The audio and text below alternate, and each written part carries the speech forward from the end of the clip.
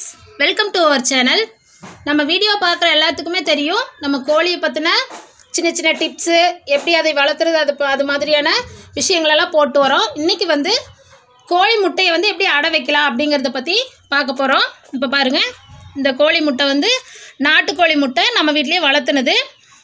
வீட்டில் வந்து டெய்லியும் கோழி முட்டை போடும்போது அந்த ட்ரேயில் வந்து டெய்லி எடுத்து வச்சுருவாங்க. எடுத்து ஃப்ரிட்ஜில் வைப்பாங்க. ஃப்ரிட்ஜில் வச்சுட்டு அது முன்னாடி வச்ச முட்டை பின்னாடி வச்ச முட்டை எது அப்படிங்கிறத கரெக்டாக ஆர்டர் வைஸாக வச்சுக்குவாங்க.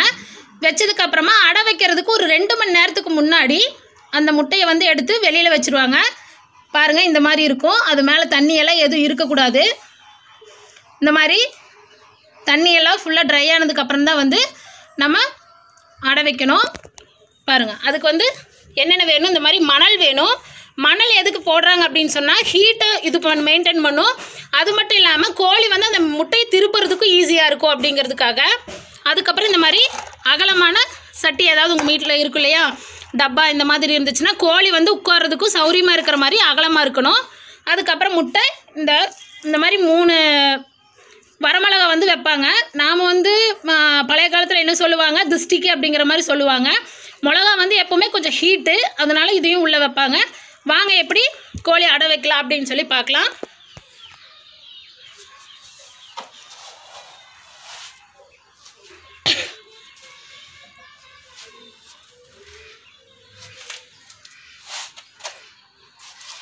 இந்த மாதிரி மணலை வந்து எல்லா சைட்லேயும் ஈக்குவலாக பரப்பி விட்டுக்கோங்க. ரொம்ப ஃபுல்லாகவும் போடக்கூடாது. ஏன் அப்படின்னா முட்டை வந்து வெளியில் வந்து விழுந்துரும். அது திருப்பும்போது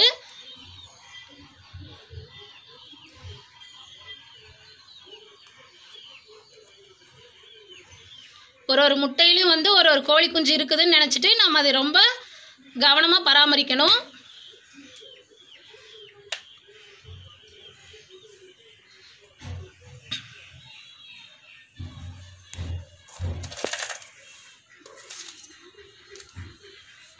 இந்த மாதிரி பாருங்கள் அந்த கோழிக்கு த எவ்வளோ முட்டை வச்சுருக்கோ அதுக்கு தகுந்த மாதிரி முட்டையை வச்சு அந்த அது பக்கத்துலேயே வந்து மிளகாயும் வச்சு நம்ம ரெடி பண்ணிட்டோம். அடுத்தது வந்து கோழியை நம்ம இது மேலே உட்கார வைக்கலாம். பாருங்கள் இந்த கோழி வந்து அடை உளுந்துருச்சா இல்லையா அப்படிங்கிறது நமக்கு எப்படி தெரியும்னா இந்த மாதிரி படுத்து அந்த இடத்த விட்டு நகராது. முடியெல்லாம் வந்து ரொம்ப தூக்குன மாதிரி எந்த அந்த பக்கம் இந்த பக்கம் போகாத மாதிரி இருக்கும். இப்போ இந்த கோழி தான் வந்து அடை விழுந்திருக்கு சூப்பர் ஓடி போயிடுச்சுங்க ஆ, பாருங்க இப்போ இந்த கோழி தான் வந்து அடை விழுந்திருக்கு நம்ம இந்த கோழி வந்து அடையில் வைக்க போகிறோம் இந்த மாதிரி வச்சு அது ஃபஸ்ட்டு ஈத்து கோழியாக இருந்துச்சுன்னா அது மேலே உட்கார்றது கொஞ்சம் இதாகும். அதுக்கப்புறம் அதுவே பழகிக்கும். கோழி முட்டை மேலே வந்து ஏதாவது ஒரு சின்ன வெடுப்பு இருந்துச்சுனாலும் கூட நீங்கள் அந்த கோழி முட்டையை வந்து அடைக்கி வைக்க வேண்டாம். ஏன் அப்படின்னா அது கெட்டு போகும்போது அதில் இருக்கக்கூடிய கிருமிகள் வந்து மட்ட மற்ற முட்டைகளை வந்து அஃபெக்ட் பண்ணிடும் குஞ்சுகள் பொறிக்காமல் போகிறதுக்கு கூட வாய்ப்புகள் இருக்குது அதனால் அந்த முட்டையை வந்து நீங்கள் யூஸ் பண்ண வேண்டாம். ஒரு டைமுக்கு ரெண்டு டைம் முட்டை எல்லாத்தையும் நல்லா செக் பண்ணிவிட்டு பாருங்கள் இந்த மாதிரி கோழி வந்து அது மேலே நம்ம படுக்க வைக்கணும்.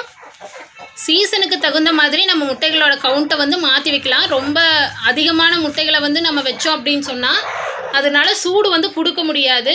அதனால் அளவாக ஒரு பதின பதினோரு மட்டும் பன்னெண்டு மட்டும் அந்த அளவுக்கு மட்டும் நம்ம வச்சோம்னா போதும்.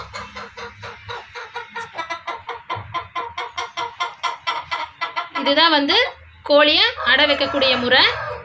இந்த வீடியோ வந்து உங்களுக்கு பிடிச்சிருக்குன்னு சொல்லி நினைக்கிறேன். Thank you for watching.